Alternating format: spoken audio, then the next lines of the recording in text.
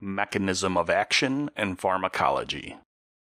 Gastric acid secretion is suppressed through parietal inhibition of hydrogen potassium ATPase. Esomeprazole is the S isomer of omeprazole or Prilosec. Esomeprazole is metabolized hepatically, primarily via the CYP2C19 pathway and to a lesser extent the CYP3A4 pathway.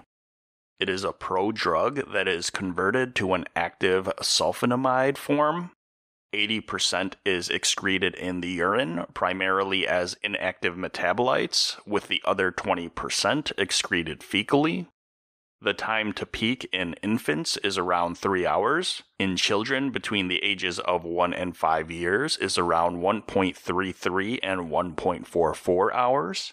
In the age range between 6 and 11 years, it increases to 1.75 to 1.79 hours in the age range greater than or equal to 12 years of age up to adolescence less than 17 years of age, the time to peak is around 1.96 to 2.04 hours, and in adults, it is around 1.5 to 2 hours.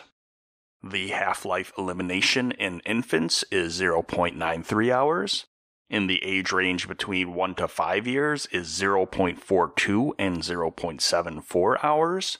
In the age range between 6 and 11 years, it is 0.73 to 0.88 hours.